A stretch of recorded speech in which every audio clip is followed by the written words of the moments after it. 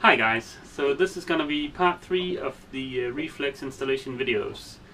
Yesterday I bent this piece of plywood and the goal for today is rather simple. I need to apply the first coat of paint.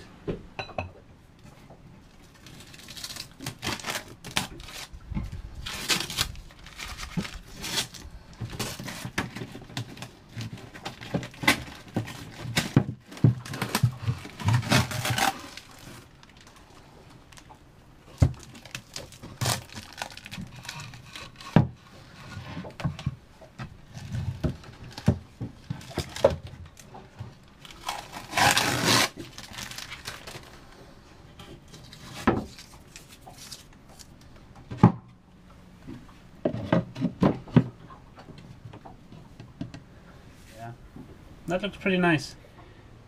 Okay, for a brief period of time I considered actually varnishing this instead of painting it because I thought the, the grain of the wood here and, and this curve would, would look really nice. Um, and I did a small test on a piece of scrap of this plywood and sadly the outer veneer of this uh, when varnished doesn't even come close to matching the color of the mahogany over there. Um, so I'm just gonna stick with painting it and uh, lesson learned. about my next boat. Um, whenever doing something fancy like this, make sure that the outer veneer of the plywood matches the color of the existing trim. I'm gonna remove this piece and paint it separately before glassing it in. That way I'm absolutely certain that the edge here between the mahogany and the white painted uh, plywood is gonna be a really nice sharp edge.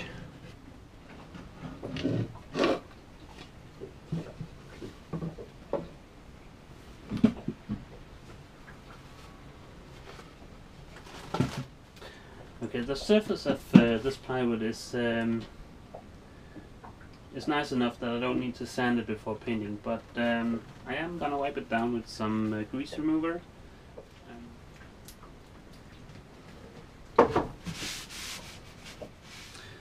I'm gonna be using the exact same paint I've been using on all of the uh, plywood of the interior of the boat. It's Hempel's Multi-Coat and it's their white 10,000. This kind of paint actually seems to be mixed uh, pretty well already. Uh, I guess the credit goes to the Danish Postal Service.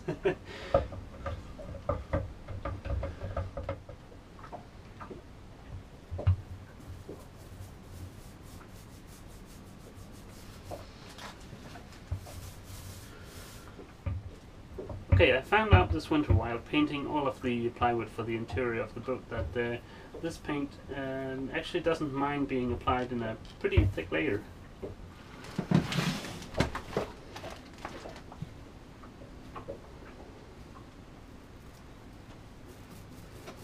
As you've probably figured out, um, I do enjoy working with my hands very much, but that isn't my full-time occupation.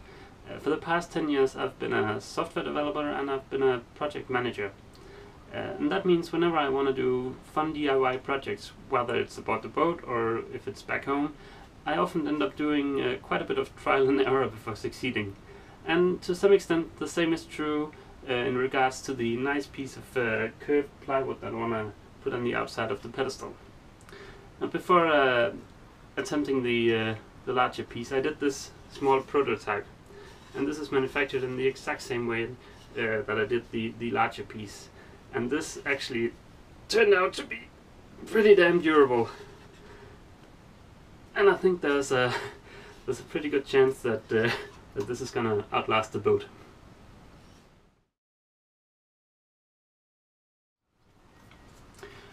Okay, I'm back aboard the boat to put on the second coat of paint. Uh, before doing that I'm just gonna knock down any high spots using some 120 grit sandpaper and then I'm gonna wipe the surface with some grease remover.